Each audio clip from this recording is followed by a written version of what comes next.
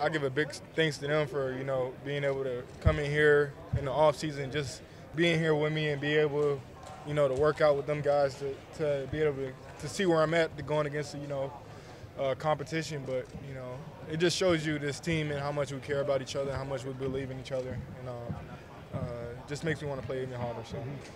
Markelle, talk about helping this ball club. Come in at number one pick 2017, and, you want to help this team get to the next level. Yeah, 100%. Uh, only thing I'm really worried about is, like you said, helping this team.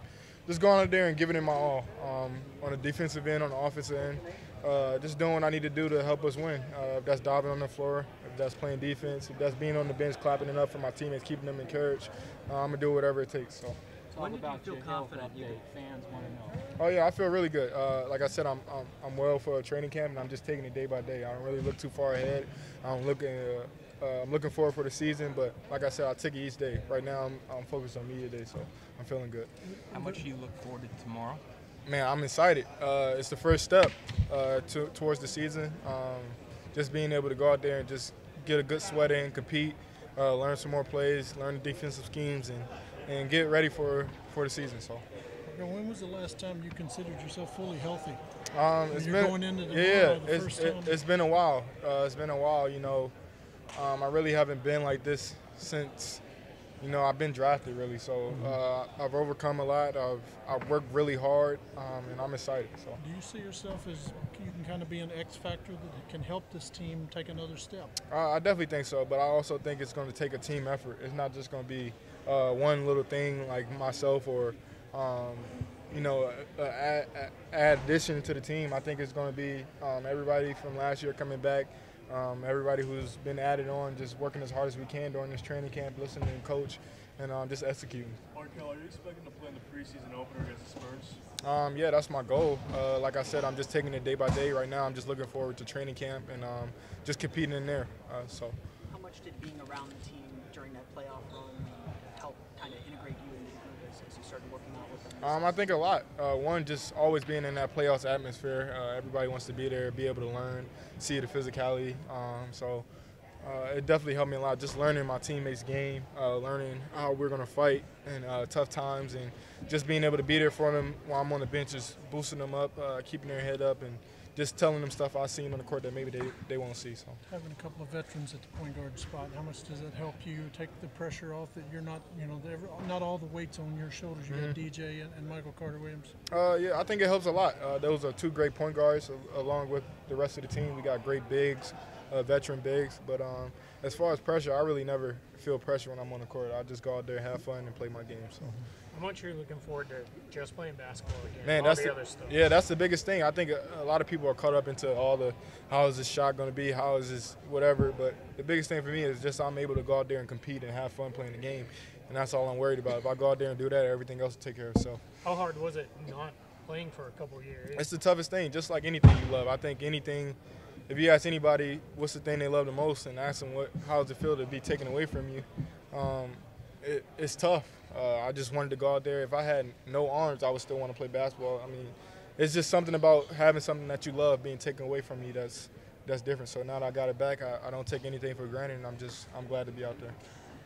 Besides the shooting game, what other value do you bring to the Orlando uh, I think I bring defensive presence, uh, rebounding, uh, almost everything. I try to uh, bring a little bit of everything. I'm gonna be that guy that's gonna dive on the floor for a loose ball. I'm gonna be that guy that's gonna talk on defense. I'm gonna be that guy that's gonna help a teammate help a teammate up when he falls. So I just want to be here for for my team and, and, this organization. Cliff said he's recruited DC through the years. I know he's told yeah, you this. Yeah, he, yeah. he says you're a DC point guard. What, yeah. what does he mean by that? Uh, I, I think the DMV area DC point guard just have a different grit. You know, um, you grow up playing outside. You growing up, you have to earn everything you get, and that's that's one thing I had to do all my life. Is just work for everything that I got. So.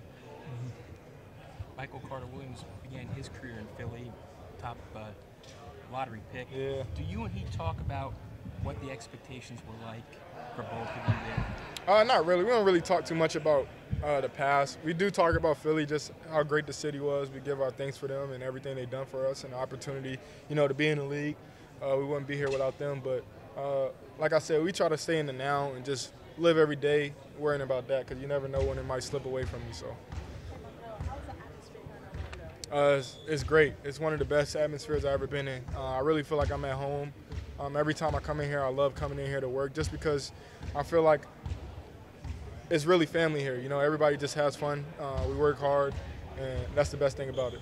Magic extended you and Mo and J.I. on the same day. Do you think about that trio?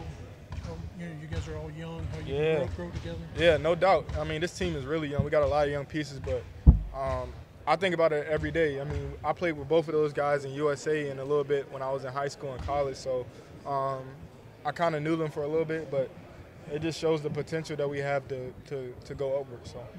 You, you were around this team for the playoff run. You were around this team all, all offseason. Is, there a sense that uh, what this team wants to accomplish, what this team 100%. I think we all we all got a lot of hunger and fire built up under us. Um, I think we're kind of looking at it like we're underdogs and we just want to work as hard as we can. And I think, like I said plenty of times, if we just work as hard as we can and take it day by day, I think we'll be perfectly fine. So. What was your experience like uh, working at the Mamba? Um, it was a dope experience. You know, you see a lot of pros come through there. I got a chance to meet Kobe, um, but their facility is great. They have almost everything you need as far as recovery, um, courts, sand, um, everything. So it was a, it was a dope experience. Markelle, you mentioned your defense earlier. Yourself and Wes and J.I. Mo. How good can this team be defensively now that it's everybody is? Man, it can be unbelievable. I think our length is a big thing. Uh, I think all of us have long wingspans. Um, we're all young and we all work hard. I think defense is mostly about effort. So I think the biggest thing for us is just following our defensive schemes and playing as hard as we can, and I think we'll be just fine.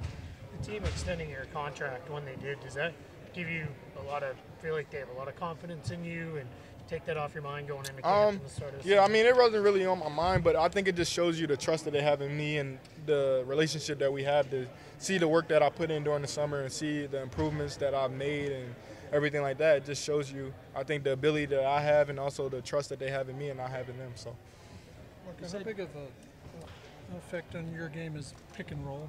uh, pick and roll is one of my favorite things. Uh, I think it's an advantage for me. It's one of the things that I'm really good at, just playing the pick and roll, reading the, the defender, and um, I'm pretty efficient at it. So I think it's one of the things that I'm pretty good at. You weren't in a system with a lot of pick and rolls. Exactly. Being in a system with more pick and rolls, will that be advantageous for you? Uh, I think it'll be great. Uh, I think it'll be something that uh, can help myself along with the team, and um, I'm looking forward to it.